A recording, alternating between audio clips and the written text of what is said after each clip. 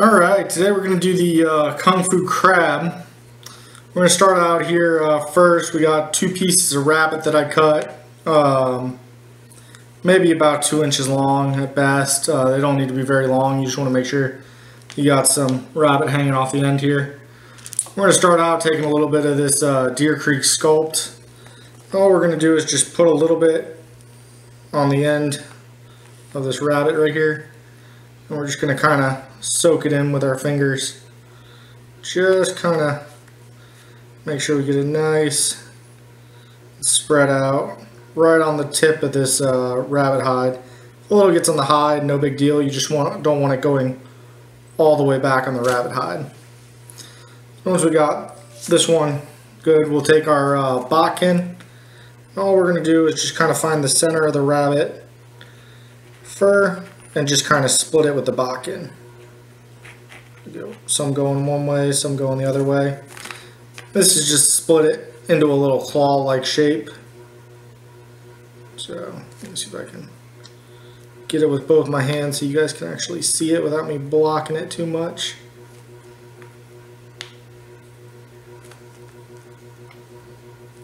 Alright, so now we got into a little claw-like shape. We'll just take that and we'll hit it with our uh, UV light. Hit it on one side, hit it on the other side. And that'll get it locked in place a little bit here.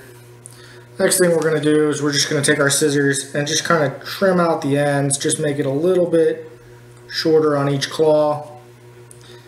And then we're going to go ahead and take our red Sharpie you can use uh, whatever color Sharpie you like. If you want to put little blue tips on it, red tips, orange tips, any of that will work. But all we're going to do is just put a little bit of red on each side, on each uh, tip of our claw. Put a little bit on one side, a little bit on this other side. Alright.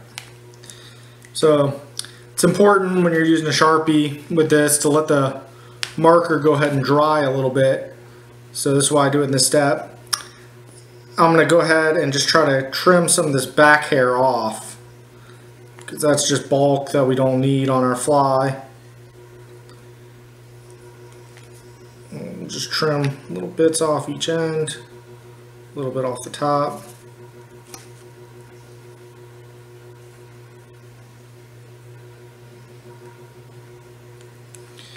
Make it look just a little bit neater. If you want, you can taper it towards the end, make it really look like a blue crab's claw, where it goes from thinner to thick.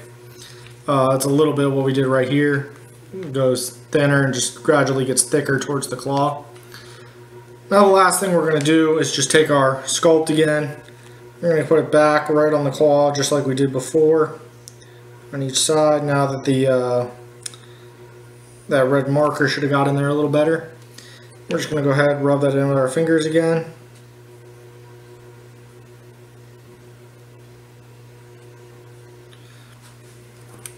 And again get our UV light and hit it.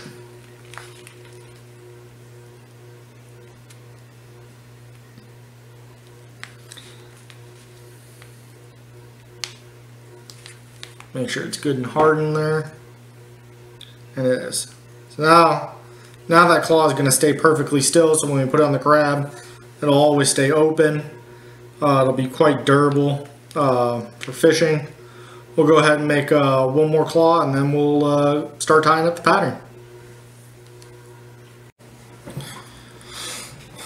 Alright, we're going to continue with our uh, Kung Fu Crab. We already uh, just went over how to make our claws, so we got two claws made up.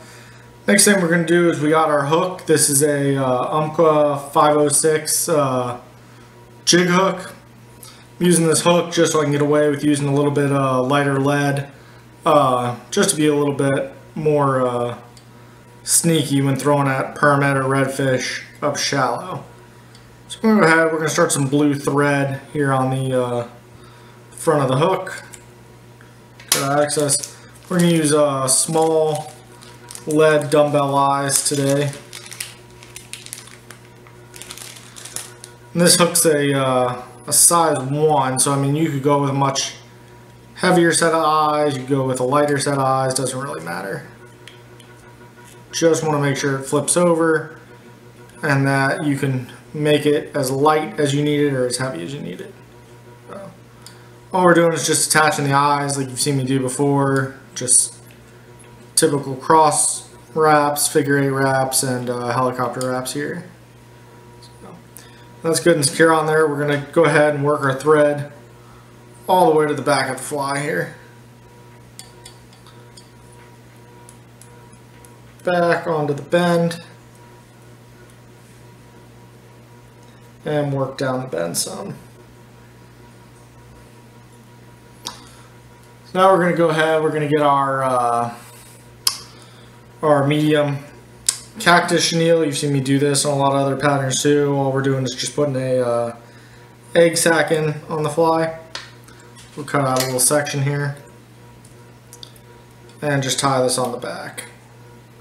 All we'll do is just palmer this forward, trying to keep it in a little ball shape, uh, just to represent that egg sac, give fish just a little difference of color to kind of key in on, make it just look a little bit more appealing to uh, whatever you're throwing at, bonefish, redfish, permit. So go ahead and palmer this in here.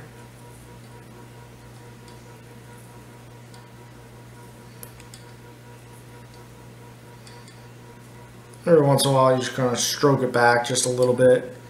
Those fibers to lay back as you move forward. You want to get it just to where that hook starts to uh, straighten out for you. I'll bring our thread back and uh, tie this in.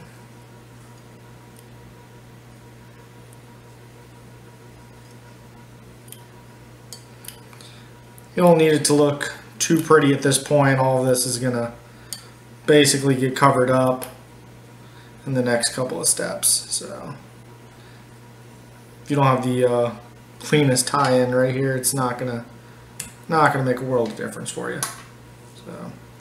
We'll clean it up just a little bit. Kind of tie over that and then tie back.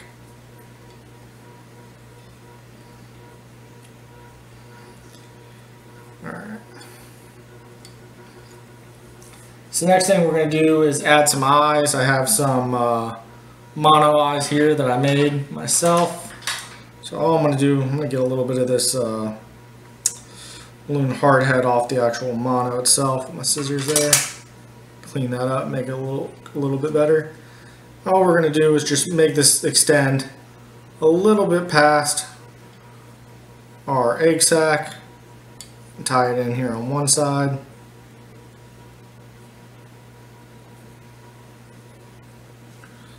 Get some tight thread wraps going so it stays in one spot. And we'll do the same thing on the other side. So we just got to clean this mono up a little too. Happens every once in a while. You're dipping in this uh, loon hardhead. It gets on your mono. Just take your bad pair of scissors. Don't clamp down too hard and just kind of rub it. And it'll take it off for the most part. So we'll get it on this other side. Line it up.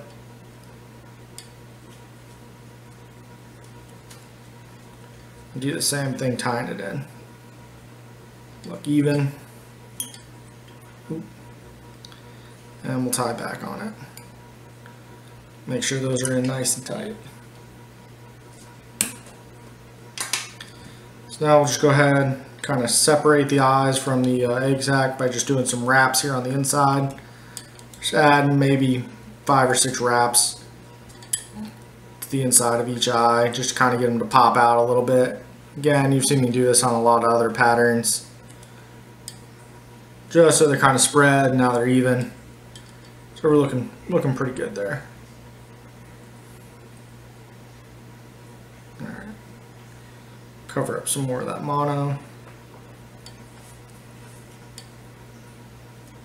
Alright, so now we can go ahead, we can take our uh, crab claws, we can tie those in. So I'm to take this first crab claw here, this will be the far side of the hook.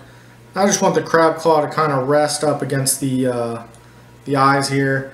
I don't want the uh, the hide to extend too far past the eyes or else you're going to get some uh, a lot of fouling around the eyes and around the hook. So you kind of want these uh, claws stay where they're at.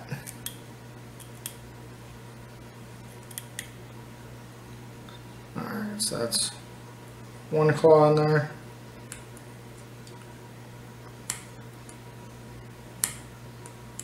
kind of cut some of that excess out. And we'll go ahead and add the other claw the same way on the other side. Kind of get it right up there on the uh, eye and tie in. This is why we kind of trimmed out some of that fur when I showed you how to make the uh, claws earlier. It's just so that this point it's already bulky enough. We just don't want it to get even more bulky by having unnecessary uh, fur on those rabbit strips. So just get it nice and tight. That way these rabbit strips don't go anywhere on you.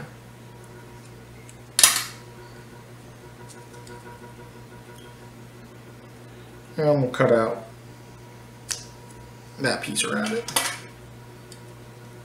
Kind of clean it up just a little. Alright it up there. Now we're just going to take just a little bit of Loctite. If I have one that's not locked up on me. And they all seem to be.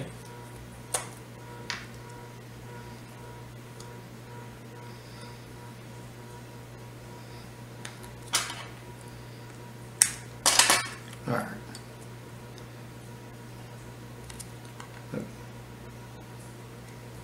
And we'll just add a little to each side, a little on the bottom, a little on the top. That'll kind of soak through your thread and get down. Make sure those rabbit strips don't move. Make sure those eyes don't move. So, Loctite, Loctite's some pretty good stuff for uh, making sure your fly is going to stay where materials of your fly are going to stay where you want them to stay. So. Uh, just a couple more thread wraps just to make sure that's really secure.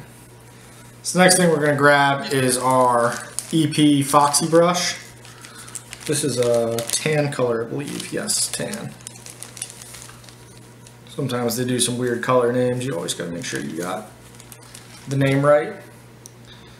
So we're going to take our Foxy brush here. We're just going to trim out this little piece of wire at the end. We don't need that extra wire all we're going to do is just tie this in right here in front of our claws. I'm putting that uh, glue on before that's going to help this brush kind of get tied in and stay on there a little better. But for the most part that's not ever really a worry. So. For the life of me, I don't know what I did with my hackle pliers, so we'll just do this one by hand. There's one tool I'm really good at losing, it's those hackle pliers. Alright, so. And that's why I hate doing it by hand. the tool that helps you the most is the one you're definitely going to lose the most.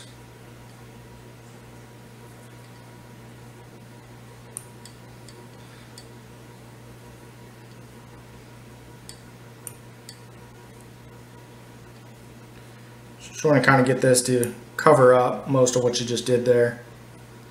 Looks pretty good. I think we did about five or six wraps. This uh, Foxy brush, you don't need too much of it. Just enough to kind of make the body all come together. So we'll tie this in here.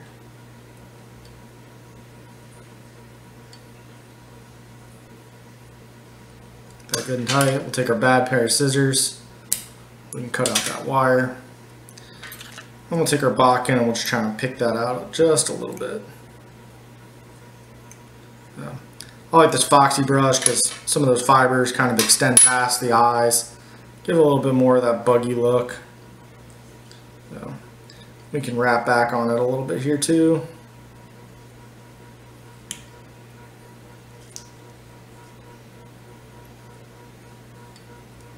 That's good. And now we're going to take a, uh, a hackle feather here off of our uh, saddle cape. Hopefully I can find a good feather today. This one's starting to uh, lose all of its good feathers, being that it's a uh, cheaper cape. But we can probably find something on here. Let's see. That feather will be fine. All we're going to do is just kind of take some of the ends of that feather off. And we're just going to tie it in right here in front of the uh, Foxy brush.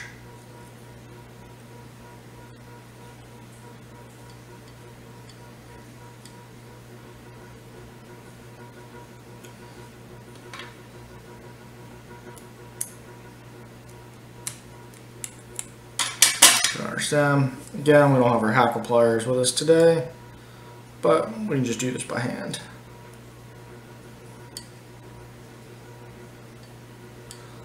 Luckily, this one's going in my box instead of a client's.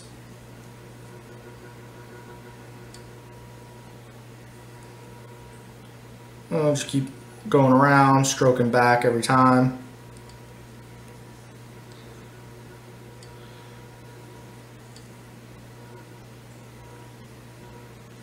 And it gives you just a little color difference in the body by adding this hackle feather. It's not a necessary step, but I always like it. Now we'll tie that in. Cut our excess feather out of there.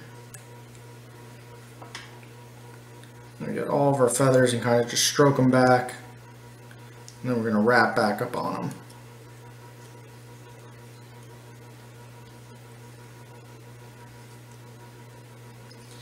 Build this body just a little bit. We'll work forward with a thread once and work back just so that body's a little bit more even.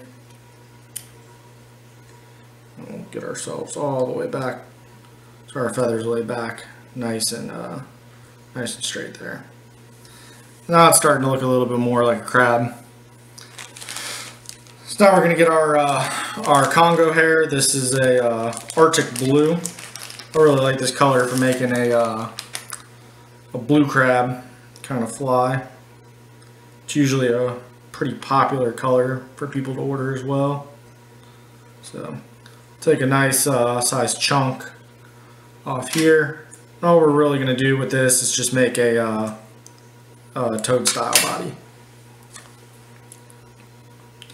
So we'll fold it in half, cut it, take one of those halves, cut that.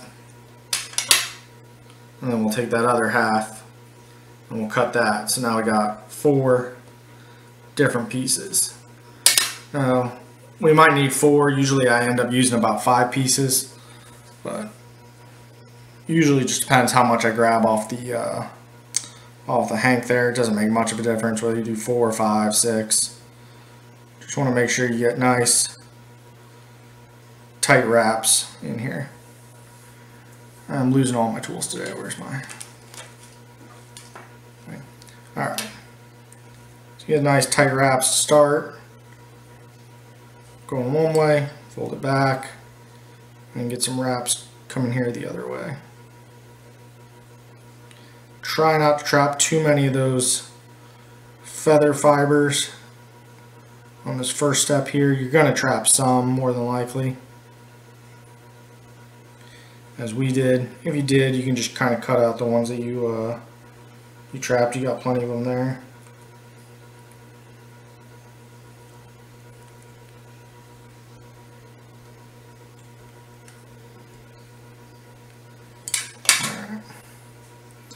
So, now we'll just take our little uh, clothespin here. Ooh, got my thread mixed in there with it kind of move it back with our clothespin, we can see we kind of got some different fibers trapped. It's always this first one that gives me the most trouble. Then once you get going, kind of gets cleaner and cleaner. Now we'll just go ahead, we'll do another one the same way. four or five wraps going one way. Pull back on the far side and four or five wraps going the other way.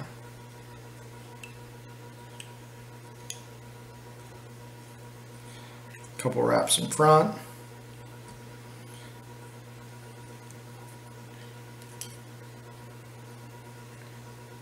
And we'll just move our clothespin once again. We'll just keep repeating this step until we get. Sorry about that. Battery uh, ran out on the uh, little camera there. Uh, pick up right where we left off. We're just uh, still making this toad body here. Just kind of clean it up in here just a little bit. So again, we'll take our uh, pieces of Arctic Blue uh, I forget what this stuff's called, Congo hair. Brain fart there for a second. And a couple wraps one way. I'll fold it back on itself. And three or four wraps the other way.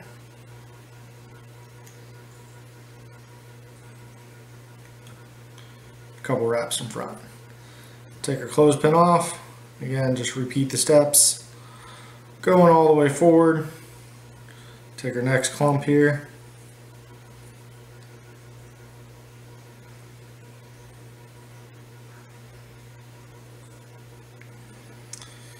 and just keep doing the same thing.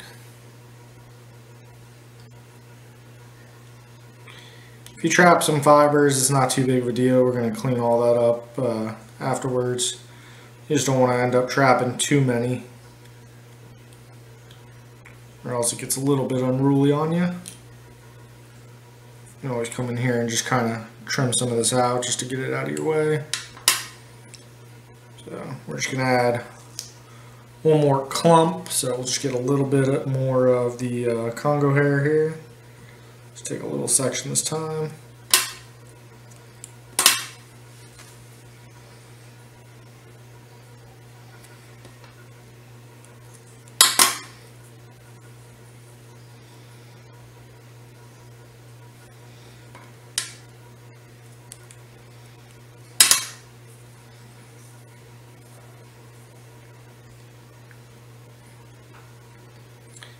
And we'll tie it in.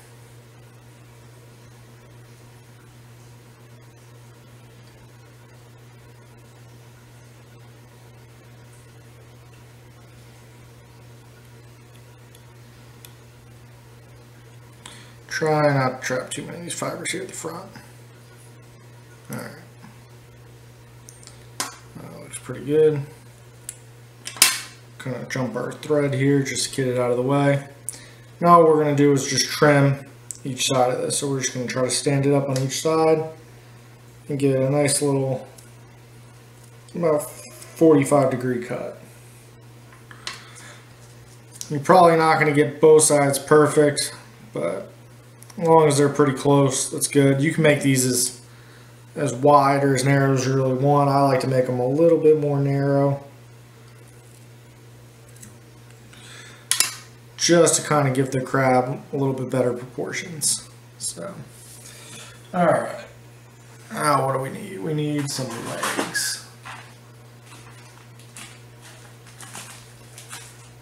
And of course we can't find the legs at the moment. I know we got legs.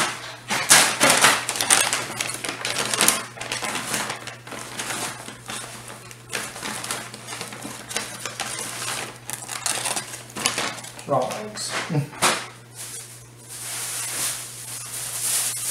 what do we do with them? Aha. So these are our uh, sight cast fishing uh, marsh legs. These are the uh, blue tips. So we're to go ahead and turn our fly over here. we're just going to take three of these legs sections off. We're going to tie these in right on the bottom of the fly. Fold it around our thread. We'll come right in here behind the eye. A couple tight wraps. And just tie these legs going kind of straight back. You're not really tying too much over the legs. Kind of split it so we got three on one side, three coming here on the other. kind of just like split the wraps a little bit here. There.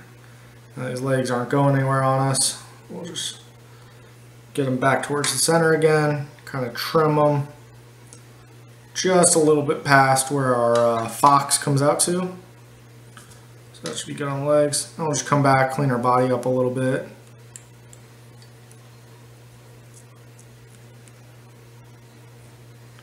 You don't have to. I mean, you can let it look unruly. It's a, uh, it's just a crab body after all. They've got barnacles and stuff on them all the time. It doesn't have to be the most uh, neat looking body in the world. Give it a couple wraps here around the head. And then we'll just come back and whip finish here on the head.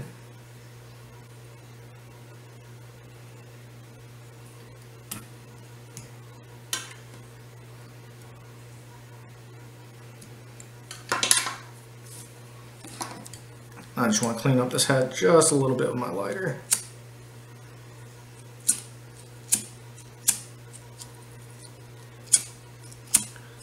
If it'll light. We got fluid? Yeah, we got fluid. All kind of tool problems today. Alright, so we got all that. Now we're just going to take a little bit of this Deer Creek uh, Fine Flex we're going to kind of spread our legs out just a little bit. And We're going to get a little bit of this fine flex right over the legs and over our dumbbell eyes. I'll hold that down.